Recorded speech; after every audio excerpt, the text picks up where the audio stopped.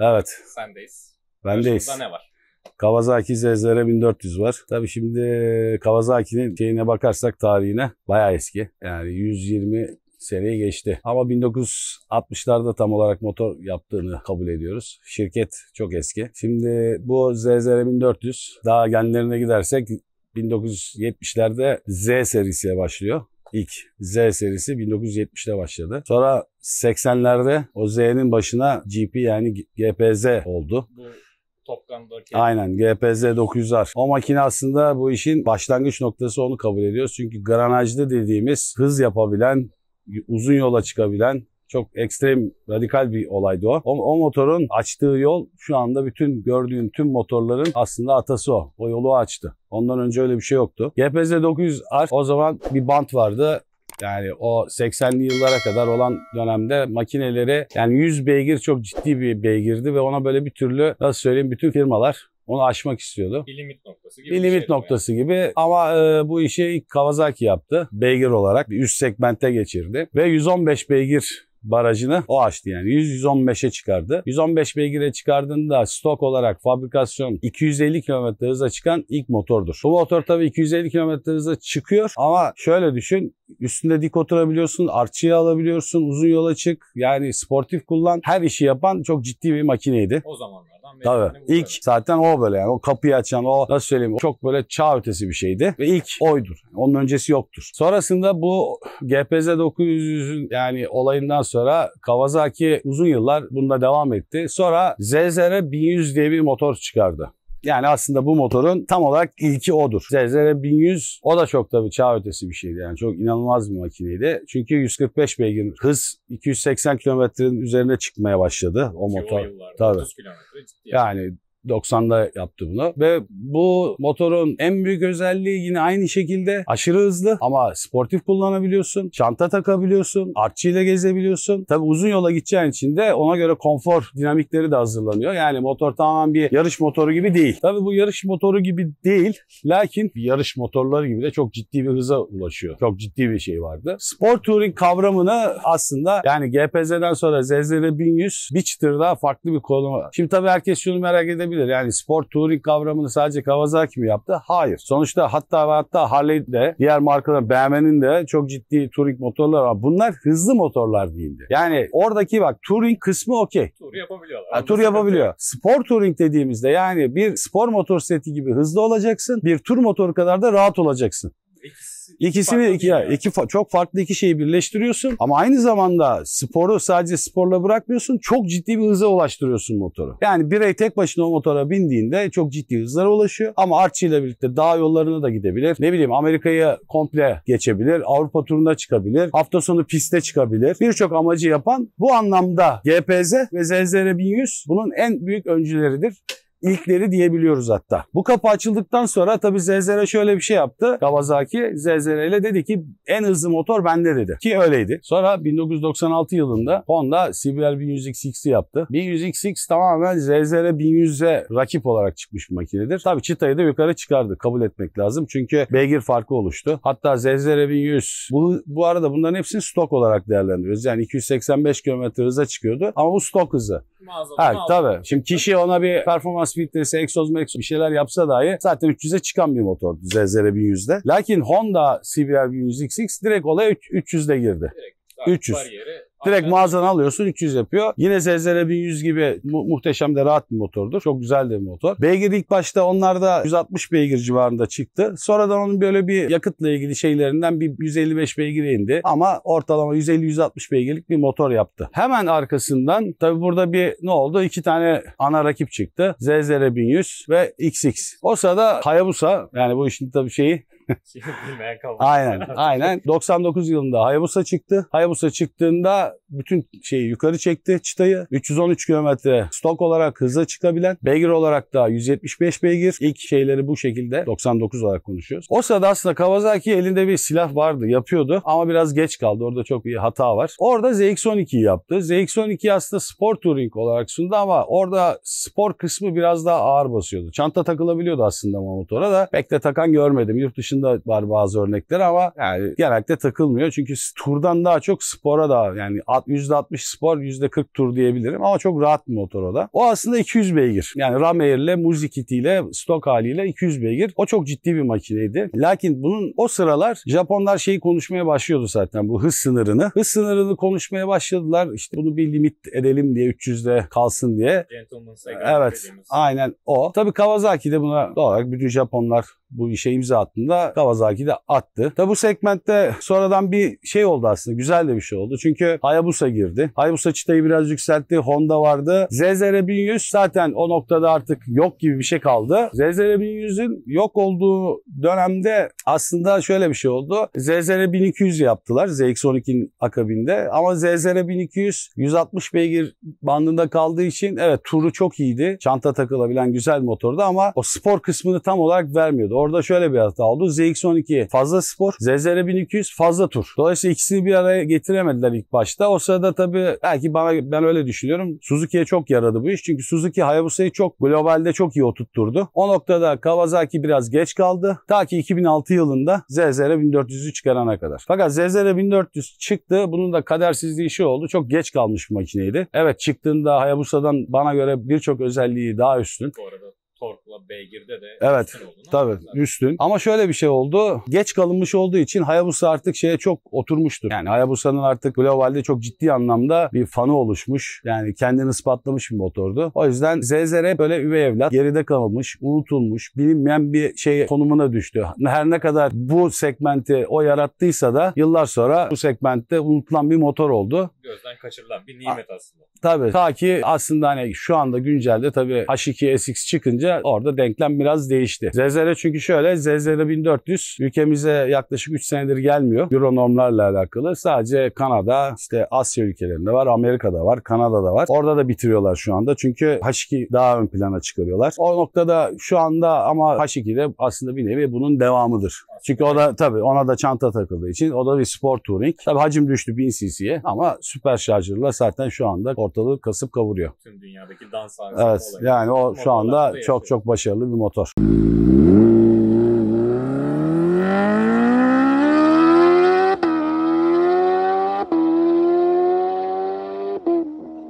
Anlattığımız bütün bu spor touring furyası genel olarak Asya bölgesinden, Japon kısmı Evet dediğimiz yerde. evet. Avrupa'da da ciddi makineler yapan firmalar var sonuçta.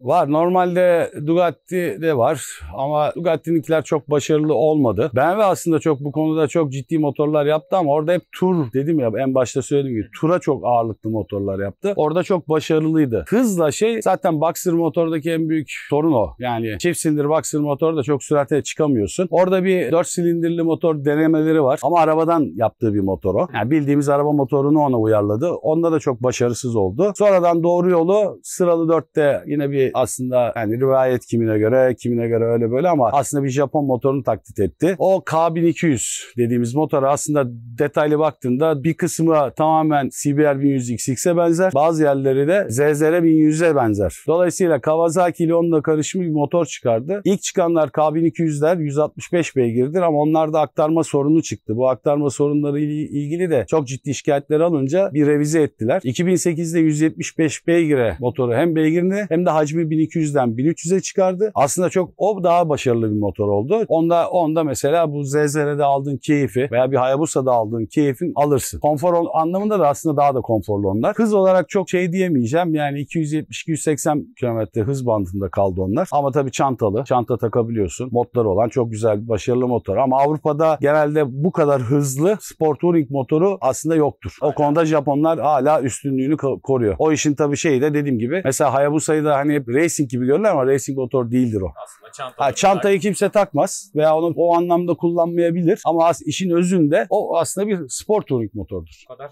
tarih yeter istersen abi. Tarihle ilgili kısmı Aslında tabii yani bu Kawasaki ile özellikle Kawasaki tarihini Onur Çakır çok çok başarılı anlatmış. O yüzden evet. Ben aşağıya linkini bırakırım. Oradan izleyen, isteyen arkadaşlar izleyebilirler.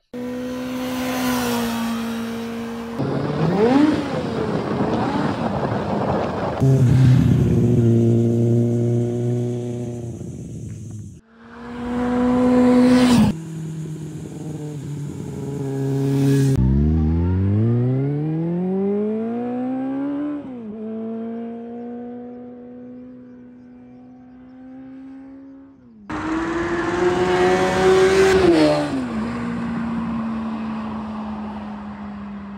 Motorumuz 2010 model ama 2006'da ile 2010 arasında 2012'ye kadar hiçbir fark yok. 2012'de Gen 2 çıkıyor.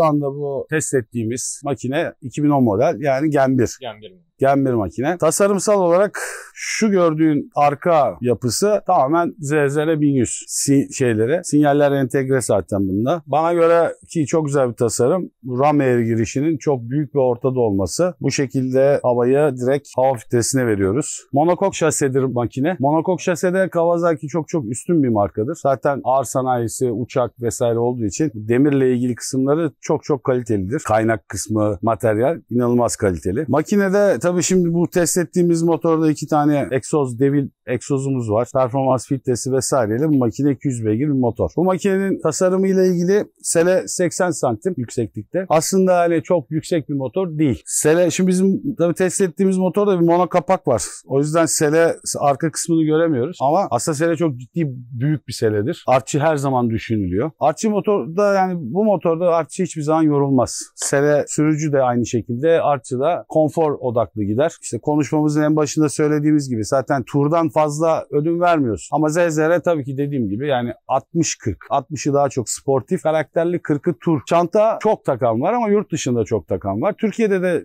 çok görmüşlüğüm var aslında yani az da değil. Ama genellikle çanta pek tercih edilmiyor. Çünkü motoru Türkiye'de nasıl söyleyeyim yani tipini bozuyor diye vesaire. Ama takılabiliyor. Hatta yani üçlü arkaya da takılıyor. Üçlü çanta artı üçlü çanta dışında da depo üstü çantada takılabiliyor. Motoru normalde üçlü çantayla hadi diyelim depo üstü çantayla yaptığın zaman çok ciddi bir bagaj kapasiten var. Artçı zaten daha da bir rahat ediyor. Çünkü arkada çanta olunca top case o daha da bir rahatlatıyor ama şu anki yani gördüğümüz şeklindeki formatıyla da artçıyla her yere gidebilirsin. Spor touringlerin özelliklerinden biridir bu. Gidon çok aşağıda olmaz. Yani spor motor racing dediğimiz motor gibi çok aşağıda değildir gidonlar. Bir çıtır yukarıdadır. O yüzden rahat tutursun. Yani çok yatma yoktur. Aerodinamik yapısı zaten bu motorların yani sadece bu Kawasaki özgü değil tabii ki. Diğer markalarda da böyle. Yüksek hıza çıkan bir motosikletin aerodinamiğini zaten mühendis ona hesaplıyor. Dolayısıyla sen çok rüzgarla boğuşmuyorsun. Türkiye'de de zaten çok rüzgarlı bir bölge. O kadar da böyle çok uysal değil. Her zaman bir rüzgar, ara ara fırtına falan da oluyor. Ha, bu yol şartlarında bu aerodinamikle inanılmaz az rüzgar şiddetine maruz kalıyorsun. Bu hem artçı için de geçerli hem Tabii ki. sürücü için Sürücü için de geçerli. Ya aslında spor touring'in çıkış amacı hani yüklen, Tabii ki. şehirler arası dolaş, Tabii. buradan çık Avrupa'ya git gel. Ya zaten şöyle söyleyeyim. Mesela diyelim buna motorun ağırlığını göz önüne. Normalde buna fabrikanın 5, 500 kilo diyor. Yani motorun kendi ağırlığı ve total yük de totalinde 500 diyor. Ama hadi 600 kilo oldu diyelim. Totali 600 kilo bir motor oldu. 600 kilo bir yükte dahi bu motor ciddi bir performans sağlar. Ciddi bir sana böyle rahatlık verir. Gaz, gazı hissedersin yani. Altında her zaman dolu dolu bir gaz vardır. Şimdi mesela bir küçük hacimli veyahut da deviri daha çok isteyen motorlarda yüklediğin zaman vites küçültmek zorunda kalıyorsun sürekli. Yani 6'da giderken işte belki 2 aşağı almak zorunda kalıyorsun. Belki 1 aşağı ki gaz veresi. Bunlarda öyle bir şey yoktur. 6. viteste sen tamam mı 2000-2500 devirde dahi gazı çek. Hiç şey yapmadan devam eder yukarı çıkar. Canavar görünüyor. Aynen.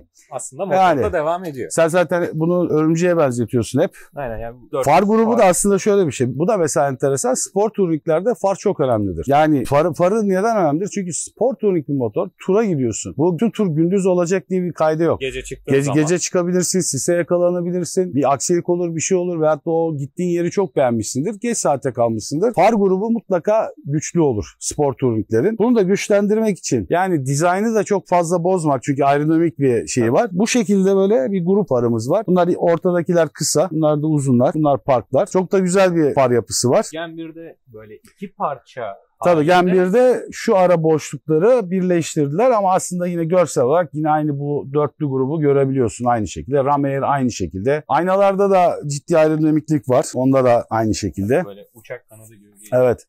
Bu zaten e, ZX-12'de de böyleydi. Yani aslında ZX-12'nin şeyidir, aynasıdır. Deponun aslında şöyle bir özelliği var. Depo şurada, şuraya gelir bak.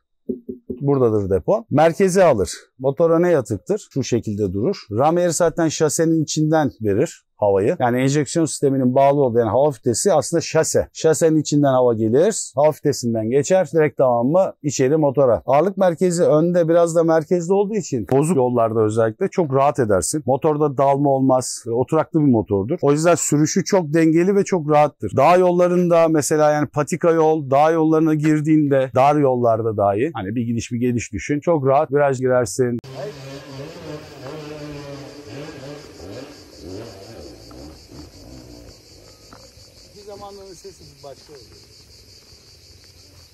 Sebastiano.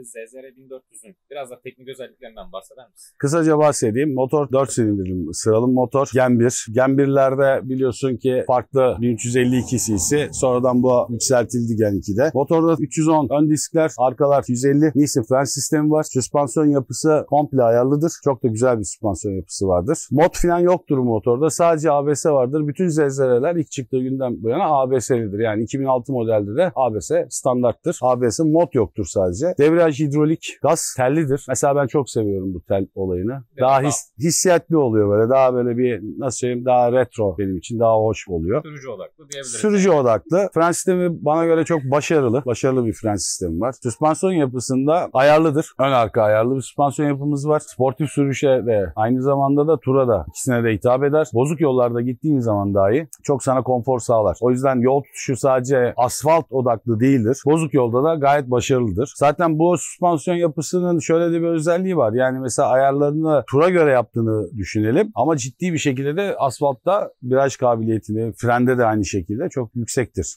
Yani tatlı sert, rafine bir süspansiyon Rafine. sistemi. Ayarlayabiliyorsun. Mekanik ayarlıyorsun. Sonuçta mod falan yok. Ama ayarlarını ne yaparsan yap esasında ortalama bir öyle bir ayarı var ki yani sen hiçbir zaman bozuk yolda hiçbir şekilde sorun yaşamıyorsun. Ayt abi biraz da motorun ergonomisinden bahsedelim. Bir Tamam.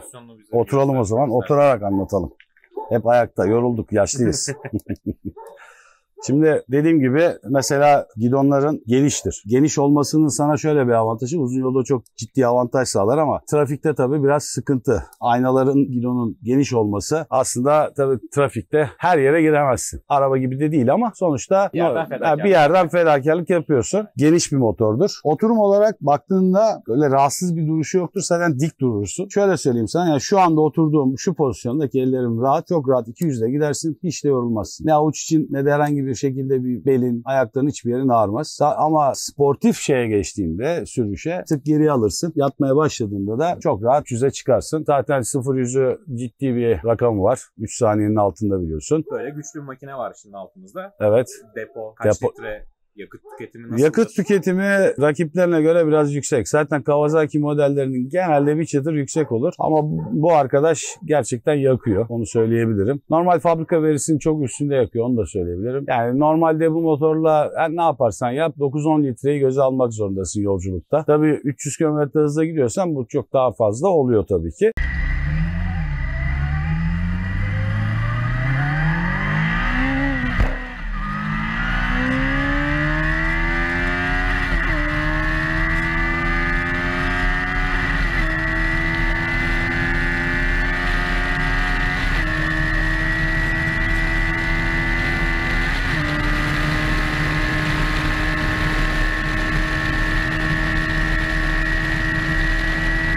Ama normal bir konfor hızında gittiğinde 9-10 litreleri çok rahat görüyorsun. Ama tabii da şu var yani bir yerde bu, bunu göze almak zorundasın. Sonuçta 1400 cc bir motor bu. Sonuçta 600 cc değil. Bir de bunların başka bir özelliği daha var. Mesela diyelim sen bireysel olarak şu andaki gibi mono kapak arkada var. Bireysel bir sürüş yaptın. Arkana artçı aldın. Artçı aldığın takdirde artçıyı hissetmezsin. Mesela benim bu motorla arkaya çok ciddi ağırlık vurup tura çıkmışlığım vardır. Çok ciddi böyle bir arka davaliyle. Hiçbir şekilde dinamikleri bozulmaz motorun. Mesela racing motorda arkaya artçı aldığında hele ki birazcık ağırsa motorun dinamikleri bozulur. Örnek veriyorum tekere gelmeye çok başlar. Biraz şeyin değişir, dinamikleri değişir. Bu motorlarda zaten adam bunu neye göre tasarladı mühendis? Çantaya göre. Şimdi çantayı koyduğun zaman bir ağırlık var. Bunu sen çanta takmadığında arkaya bir artçı aldığında zaten motorun dinamikleri ağırlık arkada olacağı bunu hesaplıyor adam. Dolayısıyla artçıyla o kadar rahat bir yolculuk yapıyorsun ki artçıyı da hissetmiyorsun. Artçının sana motor sürüşünde negatif bir etkisi olmuyor. Yani bu Bunda mesela sen tek de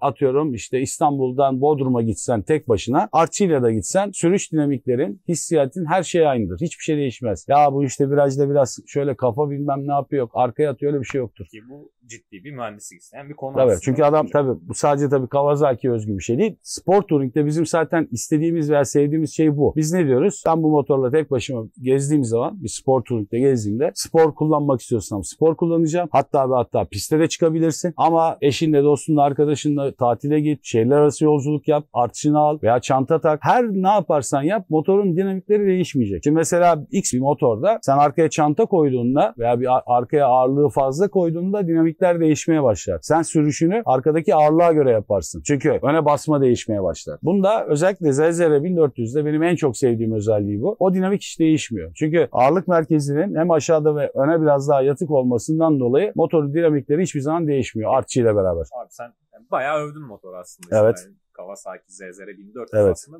mükemmel bir şey gibi gözüküyor. Evet. Peki senin açından gördüğün özellikle sen bunu uzun süredir kullandığın için bir eksi var mıdır? Yani eksi şöyle bir şey. Yakıt demin bahsettiğim gibi yakıtı biraz fazla. Yani yakıt bir spor tur motorunda yakıt aslında önemlidir. sonuçta uzun yol. Uzun yola gideceksin. Yani orada benzin istasyonlarını hesaplamak zorunda kalıyorsun. Yani güzergahta benzin istasyonu hangi aralıkta diye. O biraz negatif. İkincisi ya ben aslında bir şey söyleyeceğim. Ben Zezzere'ye bok atamıyorum ya. Çok güzel motor ya. yani vallahi negatif de vallahi ben sana ciddi söylüyorum bak. Ben bu yaşa kadar hani çok motor kullandım. Şu lanet makineye bok atamıyorum. Ha söyleyeyim. Onun dışında ısı. Çok fazla ısınıyor. Şehir içinde çok ısınır. Hatta Gen 2'de bunlarda fan 1'dir. Gen 2'lerde çift fana geçmişlerdir. Yani bunu artık sonunda Kawasaki firması dahi evet buna bir çözüm üretmek isteyip iki fan koymuştur. Bu motorda tek fan vardır. Şehir içinde ısı biraz fazla oluyor. Uzun yolda sorun yok ama şehir içinde zaten şehir içinde de çok böyle rahat kullanılan bir motor değil. Onu söyleyeyim. Genişliğinden de ötürü aslında. Her anlamda yani motor yol isteyen bir motor. Onunla uzun yola çıkacaksın veya sportif sürüş yapacaksın. Tabii ki mecbur kaldığımızda ben de dahil şehir içinde her yere gittiğimiz ol- oluyor. Ayrı konu ama asıl amacı o değil motorun. Motorun bakım maliyetleri yani ülkemiz içinde biraz tabii ki yüksek. Marka marka çünkü şöyle Kawasaki diğer markalara göre bir çıtır daha pahalı yedek parça konusunda. Bakım maliyetleri biraz daha fazla olabiliyor. Bunun dışında ama genel olarak şu anda biz 2023 yazındayız. Ağustos ayındayız. Yani bugün güncel ZZR 1400'lerin fiyatı ortalama 450-500 bin lira. Bu fiyata bakarsan aslında uygun bir fiyat. Tabii makinenin... Tabii rakip yani rakip veyahut da baz aldığın neye baz aldığın önemli. Peki günümüzde spor touring segmentinde neler oluyor? Günümüzde neler oldu? Şöyle oldu. Günümüzdeki motorlarda bu segmentte çok ciddi bir farklılıklar oluşmaya başladı. Çünkü arabada olan o su modası motora da yansıdı. Bu tarz motorlarda bir Hayabusa devam ediyor. ZZR 1400 bayağıdır yok. O çünkü Euro normlarına da takıldı. Onun yerine H2 SX var Kawasaki'de. Diğer markalarda da nedense işte Sport Touring artık böyle yüksek, daha böyle enduro vibesi, daha böyle bana göre tabii karakter orada gitti. Çünkü Sport Touring dediğim motor temel olarak hızlı gitmeli. İşte rüzgardan etkilenmemeli, yol şartlarından etkilenmemeli. Sana birçok şeyi vermeli. Ama günümüzdeki yani Sport Touring'in altında sana satılan motorlar aslında asfalt lastiği takılmış endurolar olarak sana Sport Touring olarak satılıyor. Aslında onların bana göre Sport Touring'le hiçbir alakası yok. Aslında daha çok touring'e yönelik. Spor Tamamen touring. Yani spor kısmı biraz çok ciddi anlamda törpülenmiş motorlar. Allah ağzına sağlık Ayt abi. Gayet güzel Rica ederim. anlattın. Rica ederim. Peki bir ara işte ZZR 1400, Hayabusa, K1300S Gibi. Honda Evet olabilir. Hayabusa Hayabusa yapabiliriz. Yani Sport Touring'den başladık. Sport Touring'den gidebiliriz. Nadir motorlar. Hepsi de birbirinden özel motorlar. Çekebiliriz. Belki hepsini bir araya getirip de bir çekim yapabiliriz. Bayağı güzel bir video olur. Kesinlikle olacağına ben de inanıyorum. Videomuzu izlediğiniz için teşekkür ederiz. Sürçülisan ettiysek affola.